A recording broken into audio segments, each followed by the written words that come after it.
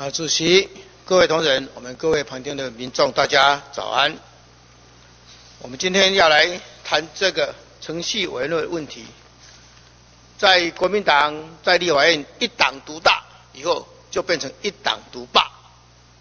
啊，我们记得我曾经跟黄玉教委员、赵立委员，我们到美国去看一下，怎么样让立法院的问政透明化，向全民负责。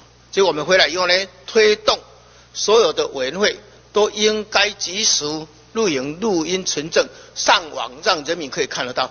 就是程序委员会不行，程序委员会变成立法院的太上委员会，实在是对所有的委员一个莫大的侮辱。为什么程序委员会可以轰杀人家提案呢？应该送到立立法院各委员会，让所有的委员在那边舌相存鉴，啊，互相辩证。怎么会程序委员会就轰杀了呢？从这个这几个会期以来，我们已经有五千一百二十个提案被封杀。我们民主进步党五千多个提案被封杀。如果每以每一个提案有十五个到二十几个签署，平均二十个，就有十万人次的羞辱。我们在那里没有用，我们的提案全部被封杀。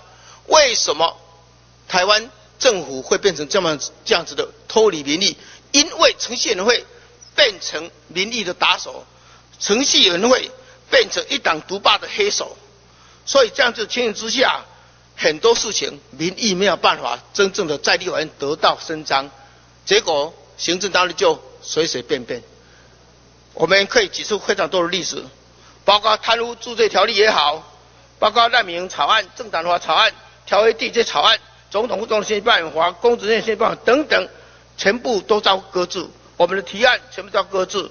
最离谱的是，最近我们提的灰核家园，在日本已经发生这样子严重的情形之下，德国已经决定把所有的核电厂提早除役之下，不再严厉的情形之下，日本在反省，全世界反省之下，台湾的灰核家园，我们的灰核家园提案。